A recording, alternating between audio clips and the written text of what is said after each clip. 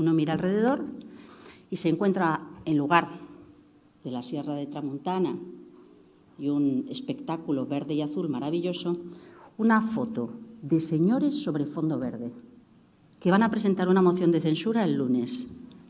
Y ves esa foto de señores sobre fondo verde y dices, ¿será verdad? ¿Será verdad que piensan que representan mejor a España y a los españoles? ¿Será verdad que esa foto en la que todos sobran si no son ellos, en la que además hay una cierta vocación conspiranoica. No, no, los Objetivos de Desarrollo Sostenible son un proyecto comunista.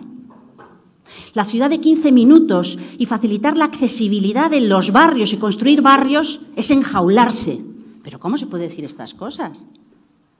¿Cómo se puede pensar que sobre la construcción de conspiranoias hay un futuro mejor para los españoles? ¿Esos señores representando España, gobernando España?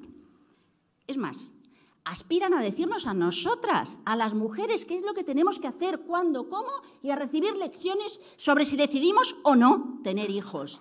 Mucho cuidado, mucho cuidado, porque cuando la gente lo pasa mal, cuando la gente lo pasa mal, cuando la gente lo pasa mal, puede llegar a creerse barbaridades. Mucho cuidado con las barbaridades que oímos. Las libertades, los derechos se defienden cada día y uno no se arruga cuando oye tonterías. Hay que decirlo a las claras. Dejen de decir tonterías, mentiras.